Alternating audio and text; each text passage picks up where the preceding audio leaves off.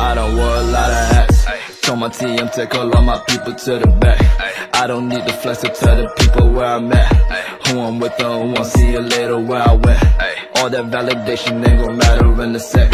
Go back to the fake Rolex. Put it on and run into the club like where the hoes at. Remember sitting down on my computer bumping cold, Thinking I should probably go delete all of my old.